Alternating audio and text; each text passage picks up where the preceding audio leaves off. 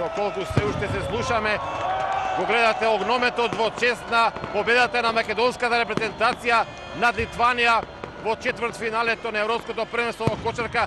Македонија во петок игра со Шпанија во полуфиналето и ќе се обиде да влезе во големото европско финале, може би и да станеме шампиони на стариот континент.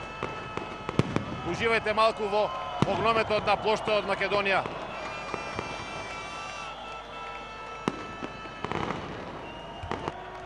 Ги слушате гласовите на едниците македонци кои што вечерва се собра овде на плоштот Македонија заедно да го прослават еден од најголемите успеси на македонскиот спорт на македонската држава, би рекол во последниве 20 години од самостојањето.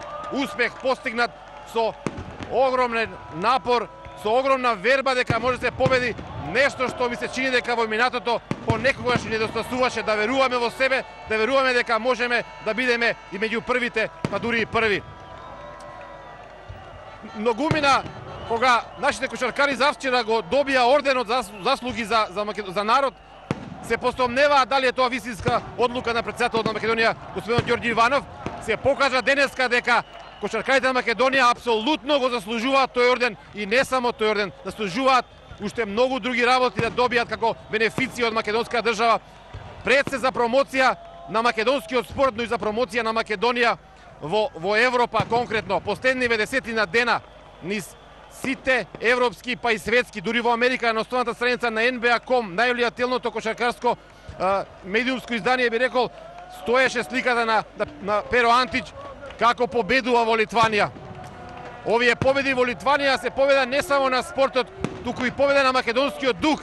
Ке ми простите што сум толку емоционален во вајавување од овде од почетот од Македонија, меѓутоа на вистина овие победи на Македонија ќе значат многу не само овие денови додека трае европското првенство, ќе значат многу за сите оние идни генерации кои што ќе дојдат, кои што ќе имаат своји доли, кои што ќе знаат дека со упорност, со работа може да се постигне се, не само во спортот, но во сите други области, во економијата, и во сите други области каде што Македонија постигнувала успеси. Имаме успеси, немаме дилема дека триумфалната капија во Скопје не е незаслужена. Македонската нација имала огромен број успеси и тоа нека биде еден почеток враќањето на кошаркарите, нека биде нивното враќање и поминување по таа триумфална капија, нека биде еден почеток на нови победи кои што Македонија ќе ја внесат не само во НАТО и Европската унија, туку ќе ја направат нација онаква како што сакаме да ја гледаме, како што секогаш сме ја гледале.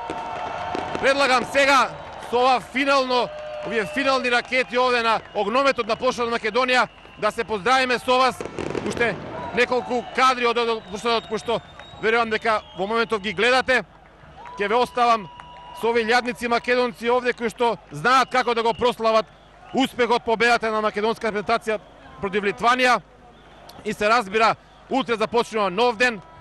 Малку ќе одмориме, заутре не очекува Шпанија во полуфиналето а се разбере нема да заборавиме на сите оние други работни обврски затоа што да повториме уште еднаш кошаркарите свет успех го постигнаа со огромен напор и пред европското првенство и за време европското првенство. Меѓутоа тоа е порака и за сите други граѓани дека сите треба да се сработиме својата работа, да бидеме упорни и се разбира на крајот успехот ќе дојде. За сега тоа е се од поштот од Македонија во центарот на Скопје, вечерва центар на Македонија, каде што се прославуваше победата во Литванија.